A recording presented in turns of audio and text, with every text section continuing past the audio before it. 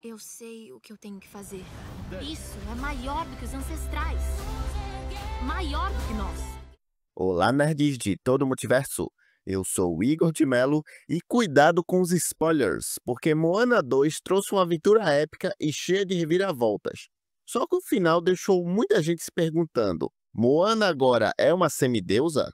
Porque é o seguinte, o filme Moana 2 nos leva de volta ao universo encantador e cheio de aventuras da jovem navegadora de Motonui, agora enfrentando desafios ainda maiores, porque após os eventos do primeiro filme, a Moana embarca em uma missão épica para restaurar a conexão entre as tribos do oceano que foi destruída pelo vingado deus da tempestade Nalo, que em sua fúria afundou a ilha de Motofeto, que é a fonte das correntes marítimas que conectava as tribos, e lançou uma maldição que poderia ser quebrada por um humano tocando a ilha submersa. Com o futuro da humanidade em jogo, a Moana lidera uma equipe corajosa em uma jornada perigosa, enfrentando tempestades, criaturas mágicas e dilemas internos para restaurar o laço entre as tribos. Durante a expedição, ela recebe a ajuda de aliados improváveis, como os piratas de Kakamora, Maui, o seu antigo parceiro, e Matangi, uma misteriosa mulher aprisionada por Nalo em uma gigante concha do mar. É inicialmente apresentada como uma figura antagônica em Moana 2. Ela surge pela primeira vez como uma mantendo Maui encatiçando que não só ele, um semideus, seria destruído, mas também a Moana, que é a jovem humana que ele havia ajudado a se tornar uma desbravadora do oceano. E ela revela que serve Nalo, o deus da tempestade, cuja inveja e vingança foram os responsáveis pela destruição de Feto e pelo isolamento das tribos. Além disso, é sugerido que ela foi designada para guardar o Portal dos Deuses, localizado dentro de um molusco gigante que leva a ilha a amaldiçoar Feto.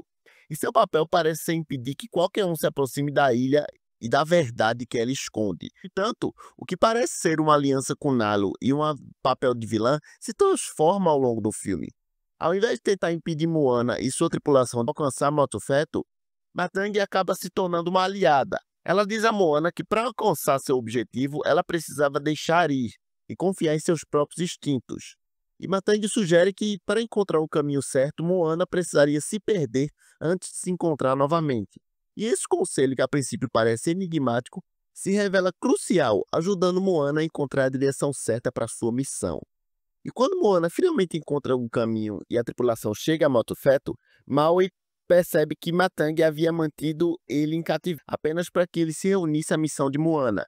E Matang então revela que sua verdadeira intenção sempre foi libertar-se de Nalo e do molusco gigante, o que seria possível se Moana conseguisse quebrar a maldição de feto. E ao ajudar Moana, a vilã não apenas facilita a missão, mas também se liberta da escravidão imposta por Nalo, que indica que, de certa forma, ela também foi uma vítima do ciclo de vida e destruição criado pelo deus da tempestade.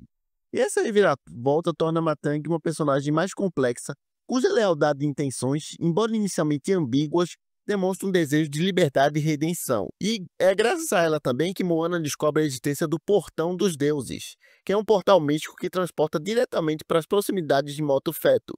No entanto, a jornada é cheia de desafios, porque a Moana enfrenta as tempestades criadas por Nalo, que tenta a todo custo impedir que ela alcance a ilha. Ao mesmo tempo, Maui utiliza seu poderoso anzol mágico para tentar levantar Moto Feto das profundezas enquanto o tempo corre contra eles. Só que o plano começa a desmoronar, com Maui sendo atingido por um raio que apaga suas tatuagens e enfraquece seus poderes. Então a Moana ela decide arriscar tudo e mergulha sozinha em direção à ilha submersa, determinada a tocar o solo de Moto Feto e quebrar a maldição. Mas antes de conseguir, Nalo manda a tripulação e os espectadores incertos sobre seu destino. No entanto, esse não é o fim da história para Moana. Enquanto seu corpo repousa inerte, Mal e desesperado inicia um cântico sagrado, clamando por ajuda espiritual. E ele é acompanhado pelos espíritos ancestrais de Moana, incluindo sua avó Tala. Juntos, eles canalizam uma energia espiritual poderosa que restaura a vida de Moana. Mas sua ressurreição não é comum. Ela retorna com novas habilidades e marcas que refletem a sua transformação. Se nota que o braço esquerdo dela passa a ficar coberto de tatuagens, semelhantes a de Maui. E essas marcas não são apenas decorativas, mas representam a grandeza de seu feito, ter quebrado a moda e restaurado a conexão entre as tribos. Nos mitos polinésios, tatuagens têm um significado espiritual profundo, muitas vezes associadas à força, coragem e conquistas sobrenaturais. Além disso, a Moana é presenteada pelos espíritos com a versão encantada de seu remo. Esse novo artefato brilha como um dourado mágico e permite que ela controle as correntes marítimas. que era uma habilidade que antes pertencia apenas a seres divinos como Maui. E essa conexão direta com o mar e seu novo poder indicam que Moana foi elevada a um status semelhante ao de uma semideusa. Embora o filme nunca declare explicitamente que Moana é uma semideusa, as evidências são claras. Assim como Maui utiliza seu anzol mágico, Moana agora possui um objeto encantado e poderes únicos, simbolizando sua transformação. E seu retorno à vida, marcado pelas tatuagens e pelas habilidades mágicas, a posiciona como uma figura mitológica que segue os passos de Maui. E essa mudança não apenas altera sua conexão com o mundo espiritual, mas também redefine seu papel dentro da tribo.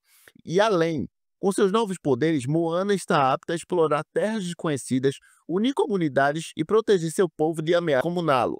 E essa evolução reforça um tema central do filme, ir além do conhecido e se aventurar em territórios inexplorados. No entanto, sua jornada está longe de terminar. A cena final de Moana 2 sugere que Nalo, enfurecido com sua derrota, vai planejar uma vinda. Com sua capacidade de controlar outros seres, como fez com Matang, ele vai continuar a representar um perigo iminente. E como a semideusa, Moana está agora exclusivamente equipada para enfrentar essa nova ameaça, pavimentando o caminho para novas aventuras no futuro.